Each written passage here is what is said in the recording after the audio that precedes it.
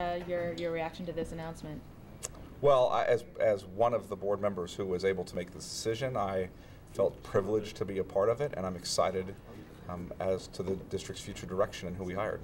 And you mentioned, uh, you know, you only wanted to choose from the best of the best. Um, how tight was the competition, and, and what made you come to this ultimate decision?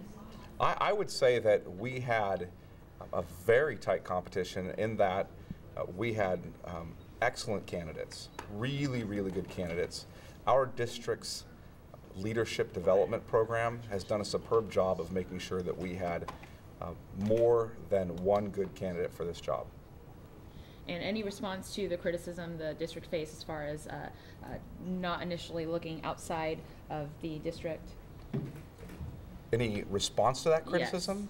Well, I understand the desire to uh, bring in new blood if you think a culture is inherently problematic. But if you think a culture is strong and good, uh, but needs to be improved upon, and you can find somebody in your organization that has the ability to do that, then it, it is a best case to be able to hire from within.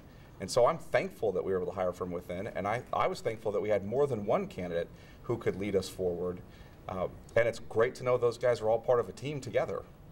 Qualities does Dr. Schaefer uh, have that you hope to uh, expand upon now that he is superintendent? Well, besides being good looking, um, he, uh, Dr. Schaefer ha- is, he is incredibly accomplished as an administrator, has a lot of experience as a principal, um, and on the administrative team has experience in two different areas. Um, he has great ideas. He has an incredibly strong desire to work with the community, um, understands our district and its culture, and is ready to lead us forward. What does the position entail that he just took over? Oh, you know what? More than I probably know.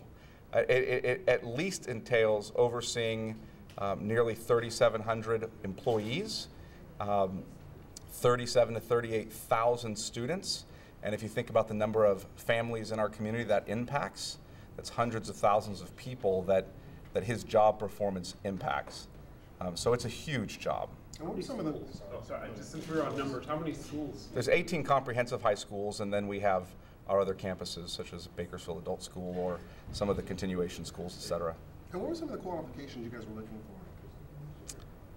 for? Uh, we were looking for someone who um, obviously is incredibly intelligent and skilled um, in education, who has great vision for the future of the district, who is creative and innovative, who is able to work well with people, who's a strong communicator.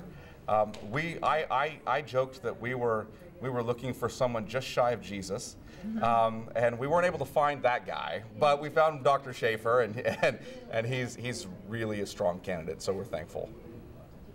No one